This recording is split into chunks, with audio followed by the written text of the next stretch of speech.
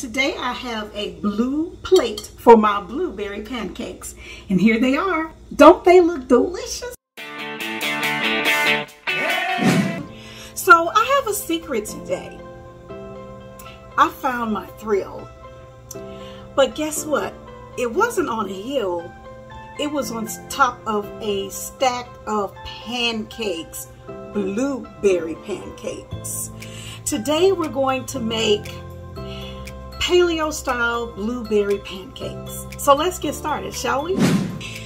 Today we're going to need quite a few things because we are really making pancakes. So we're going to need three eggs, the juice of half a lemon, which is about a tablespoon. We're going to need some baking soda and some baking powder. We're going to need some raw honey and we're going to need some vanilla, coconut flour, and some tapioca flour. And we are going to obviously need blueberries. Can you see So let's get started, shall we? Okay, first we're going to take a bowl and whisk in three eggs. And I like to take my eggs and break them in a separate container just to make sure that there are no bad eggs in the bunch. I learned this trick from my mom years ago. My mother used to bake cakes a lot when we were growing up.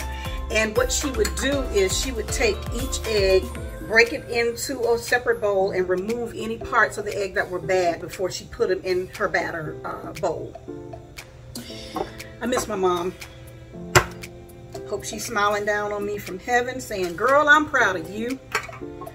So then I take that second egg. So we want to make sure, because sometimes I open an egg and it's rotten or, you know, it has a bad smell. So you don't want that to already be in your bowl. All right, so let's take these three eggs, place them in our big bowl, and we're going to whisk, whisk, whisk away here. And whenever I can't get my eggs from a farmer, I get them from a grocery store. I get free range or cage-free chicken egg. Okay, next to these eggs, we're going to add half a cup of almond milk plus three tablespoons so we have our almond milk, and we're gonna whisk, whisk, whisk away. And to this mixture, we're going to add honey. Now we're going to add a tablespoon of our organic honey. And what I do is I have a little trick. I know it's not paleo because it's processed, but there's a coconut cooking spray that I use. I just spray my tablespoon or whatever measuring device I'm going to use with the cooking spray so that I can get a cleaner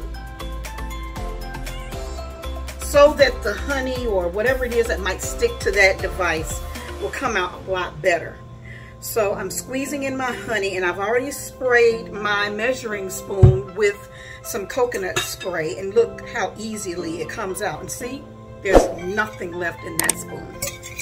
So that's a trick for you today. All right, so whisk away, add your honey, and then we're going to add lemon juice. And here's another trick. Lemon juice, half of a lemon is about a tablespoon, and all we need for this recipe is a tablespoon of lemon juice.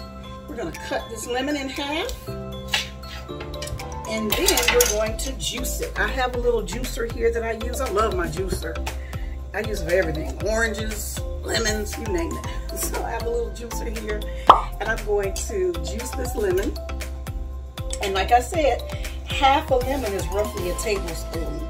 So you can use that. And if you want to go ahead and measure it, you can, just to be sure.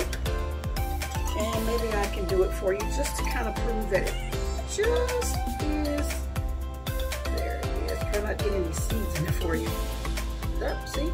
It's tablespoon. There you have it. All right, so we've got that lemon juice in. That's a fresh lemon. And we whisk, whisk, whisk, whisk, whisk. And then in a separate bowl, we're going to add our dry ingredients, okay? For our dry ingredients, we will need coconut flour and tapioca flour. So we're going to add half a cup each of coconut flour and tapioca flour, all right?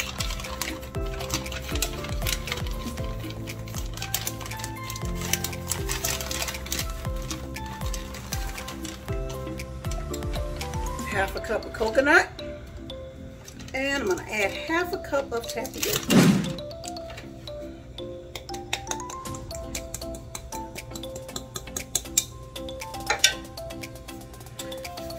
All right, so we're going to add our dry ingredients to our wet ingredients once we give it a mix.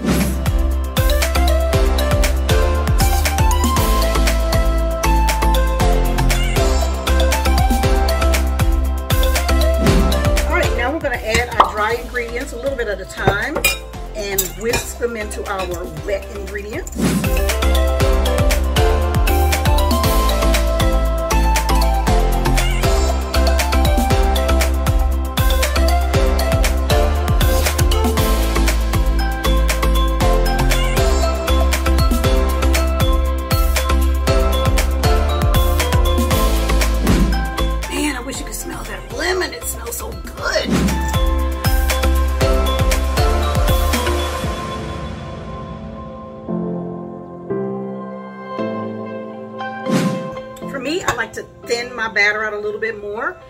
Always looks clumpy like this, but I want to thin it out a little more, so I add a little bit more almond milk. Now, we need to add to this mix our vanilla, baking powder, salt, and baking soda. So first, let me do the vanilla. We're only going to do about a teaspoon of vanilla.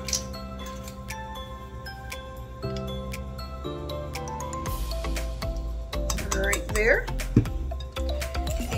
Mix, mix. And then I'm going to get a little bit more almond milk. There we go. And whisk, whisk, whisk. There we go.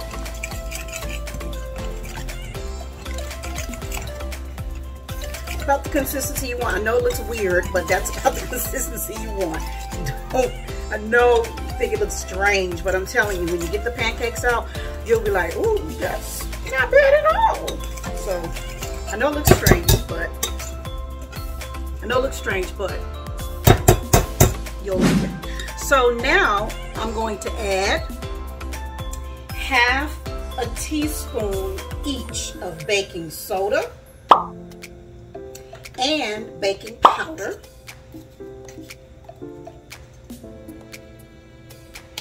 and I'm going to add a pinch of salt. Now I use sea salt or kosher salt.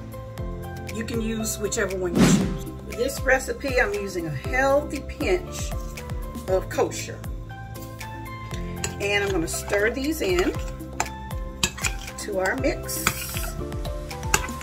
And then I'll meet you over at the skillet so we can get these pancakes cooking. Yum, yum. Okay, we're back and we're at the skillet. So, for those of you who know me, you know I like to use a lot of ghee. And so I've greased this pan with ghee, which is just clarified butter. And now I'm going to put about a three inch pancake on eh, about three or four, you know, several three inch pancakes in the skillet. Okay. And those pancakes begin to bubble on the surface, that's when you add the blueberries. So we'll let them cook a little bit and we'll let them start to bubble up around the surface and I'll drop handfuls of in. I wish you could smell them. Okay, now it's time to add some blueberries.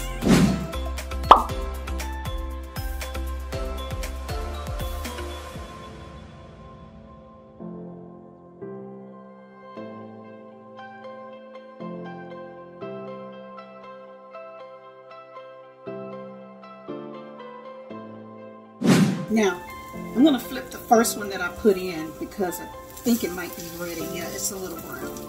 But that's all right. It's going to taste just fine. Believe me when. And I'm trying to flip them in the order that I put them in the skillet so that, you know, they won't be underdone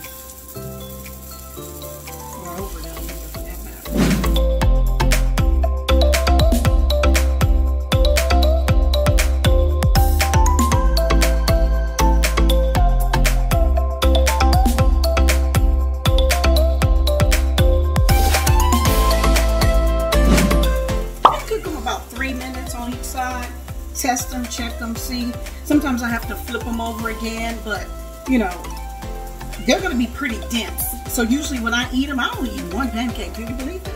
I know you might want to eat stacks and stacks, but I'm telling you, if you eat a couple of stacks or a big stack of these pancakes, you're going to be full for the rest of the day. You won't want any more food. Take it from me. There you go. And see, the blueberries look like that once they're cooked in. All right? So for those of you who don't know me, my favorite color is blue. And today I have a blue plate for my blueberry pancakes, paleo style. Now all you need is some maple syrup and your favorite breakfast meat. Enjoy! Make sure you try this recipe, comment, like, share, and definitely subscribe to my channel. Thank you so much. This is Charlrean saying always eat clean. See you next time.